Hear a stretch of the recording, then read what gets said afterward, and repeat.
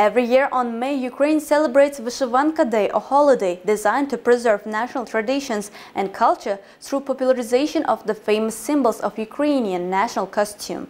In this regard, the Embassy of Ukraine in Uzbekistan organized an event dedicated to preserve and showcase its traditions and culture. Embroidery is a type of national folk applied art associated with embroidery by hand or with the help of sewing machine patterns and ornaments on clothing, household items. The history of this art form is very ancient and therefore, along with the aesthetic side designed to cause pleasant, kind feelings to show beauty, embroidery had a character associated with the fact that ornaments and patterns performed the functions of amulets, hence the variety of colors and types of ornaments where each of them was given its own meaning.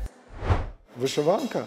The Vyshyvanka holds great significance as a national attire of Ukrainians. Its roots trace back thousands of years, with the 17th century marking a period of vibrant growth in the embroidered clothing. Annually on the third Thursday of a designated month, we wear this clothing. It showcases the enduring customs of Ukrainian folk embroidery. Upholding our cherished traditions, it is customary to adorn a newborn child with embroidered motifs as a protective talisman. Similarly, when a young woman enters the union of marriage, she embroiders intricate patterns onto the garments of her future spouse, symbolizing their shared journey. At the event, the master class of how to cook national Ukrainian cuisine borscht was presented step by step. Uh,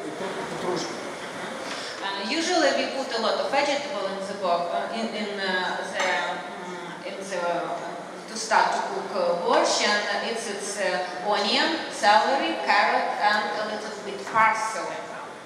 Borscht is not just a traditional Ukrainian daily meal, it's a symbol of unity, the basis of the culinary tradition of Ukraine, which is stronger than any modern experiments and overseas borrowings. Borscht is a dish with a national character. It is primarily associated with Ukraine. This association smells delicious and promises warmth, comfort and fullness.